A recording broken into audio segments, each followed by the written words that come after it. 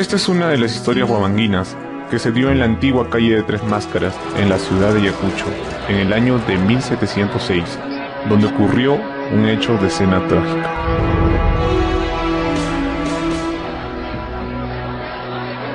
En una de esas hermosas noches guamanguinas, una bella muchacha llamada Isabel lloraba desconsolada.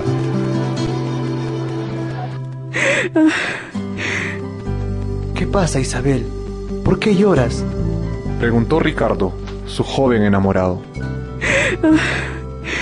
Ay, Ricardo mío, lo nuestro no puede ser. Mi padre ha prometido mi mano al marqués de Valdelirios. ¿Cómo? No puede ser, Isabel. Vámonos lejos. Cásate conmigo. Viviremos juntos una vida feliz. Ricardo, tengo miedo. Tengo mucho miedo. No puedo enfrentarme a mi padre. No, no puedo, no puedo. Yo no quiero a ese hombre. Es gordo y viejo. ¿Qué hago? Dime, ¿qué hago? Y así Isabel continuaba llorando. La sombra negra de la tragedia empezaba a envolver a Huamanga y a esta linda parejita debido a la impertinente intervención paterna, pues su padre había prometido a su hija a un anciano y rico hacendado. Bueno, Marqués de Valdelirio, te casarás con mi querida hija Isabel, y así unificaremos nuestro poder y riquezas. Estoy de acuerdo contigo, Marqués de la Totora. ¡Que vive mi matrimonio! Enterado de las intenciones del padre, el joven Ricardo, también perteneciente a una noble familia, planeó el rapto de su amada sin importarle las consecuencias. Si no actúo con rapidez, no podré ser feliz con Isabel, y el marqués de Valderidio se quedará con ella. Ya durante la noche de rapto planeado, Tengo que apresurarme. Ricardo sigilosamente sube la pared que le conduciría a la habitación de Isabel, cuando de pronto escucha.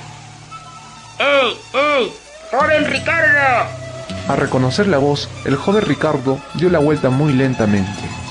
¿No sabe usted que me ofende al intentar acercarse a las habitaciones de mi prometida a estas horas de la noche? Saque su espada, que en estos momentos lavaré mi honor con su sangre.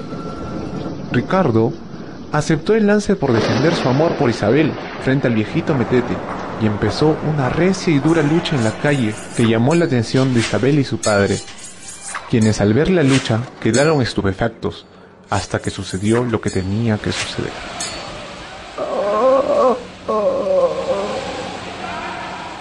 El marqués de Valdelirios había recibido una estocada mortal de la espada del joven Ricardo. Al ver a su amigo caído, el marqués de la Totora se enfureció y dijo, Ricardo, muchacho malnacido, ¿cómo osas matar al prometido de mi amada hija? Saque su espada, que en estos momentos defenderé el honor de mi amigo y de mi familia.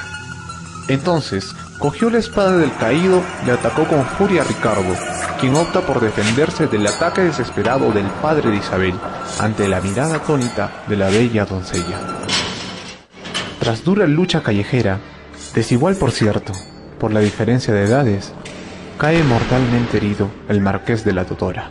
¡Ah! ¡Ah! ¡Maldito! Llega a decir el padre de Isabel, tendido en el suelo en su último suspiro. No, papá, no, no. Isabel, horrorizada por lo ocurrido, miraba cómo su padre adorado moría por la espada de su amado Ricardo. Qué situación tan desgarradora. Perdóname, Isabel. Me dejé llevar por mi pasión por ti. Es que te amo tanto que enloquecí al saber que te casarías con otro. Mátame, querida. Así podré resarcir mi crimen.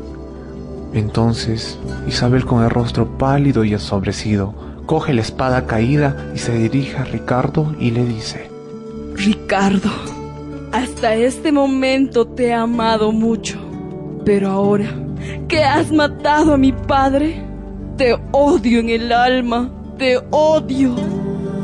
Mientras hablaba, Ricardo tiró la espada, se arrodilló delante de Isabel, le rogó el perdón y lloró, pero Isabel se mantenía inflexible.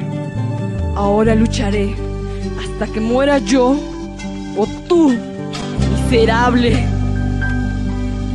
Con profundo dolor que le hería el alma, Isabel mira un momento a Ricardo. No podía perdonarlo. Entonces la bella mujer hunde la espada en el pecho de Ricardo, que esperaba pacientemente el último segundo de su vida. Ah, ah, Isabel, te amo. Ah. Se le oyó decir a Ricardo mientras caía el frío asfalto de la piedra de la calle Guamanguina.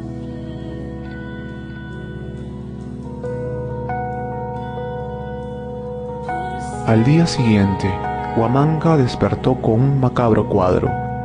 Tres difuntos, todos de noble alcurnia, estaban tendidos en un gran charco de sangre.